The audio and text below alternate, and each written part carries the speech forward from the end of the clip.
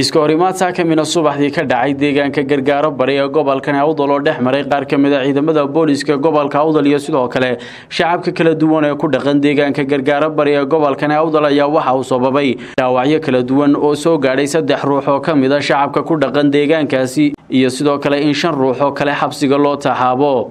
Sida uu noo xaqiijiyey mid ka mid a xildhibaanada golaha deegaanka ee degmada lughaya ee gobolkani awdal islamarkaana ka soo jeeda deegaanka gargaaro bari ee gobolkani awdal kaasoo waxa weyaan maxay ahayd ay saaka ay ka dhaceen war aada iyo aad u xun oo u qiimo daran oo ku dul dhacay dadkii ay ku dhacday duufaantii sagar ay saamaysay ay guryahoogii baabiisay ay qaraabadoodii baabiisay ay xoolahoogii qaaday.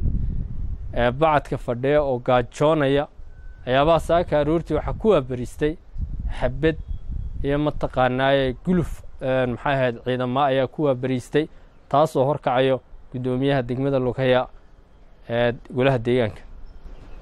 Runtii waxa weeye arrinkaas waxaa sababay oo sabab u ah sida uu mataqaanaa uu sallaansanayo raashimo dhallinyaro raashimo boobtay. Jireen ciidamadu waxay fureen rasaas fara badan fara badan.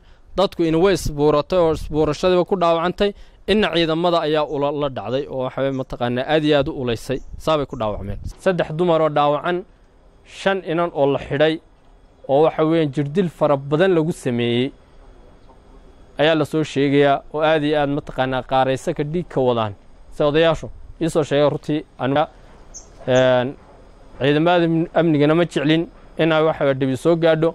Da waxaa lanoo soo sheegayaa inay taliyihii watay iyo hal askari ayagana uu dhaawac ka soo gaadhay halkaa kolley waxaanu leenahay waanu mataqaanaaye waa arrin si qalada iniigu dhacday.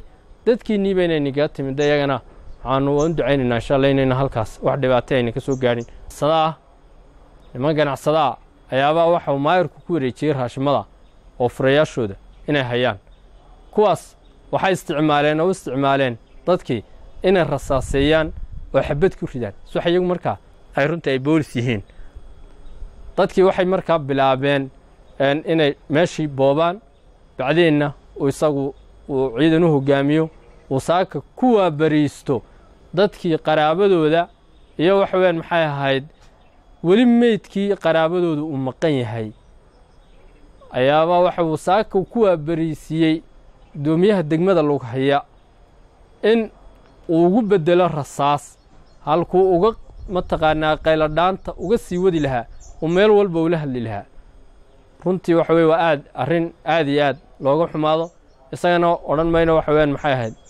Oo dee meel buu ka dhacee. Arrintaas way hoos martaan leenaha sidaa daraaddeed waxaan baaq dheer iyo ku gaaban baa u dirayaa in la soo gaadho magaalada gargaara lala soo gaadho dadkaa jiifa caawimaad mataqaanaaye wixii la heli karo loo soo dedejiyo lagana joojiyo. Si dhaqso a looga joojiyo tacaddiga ayaa waxaa ku socda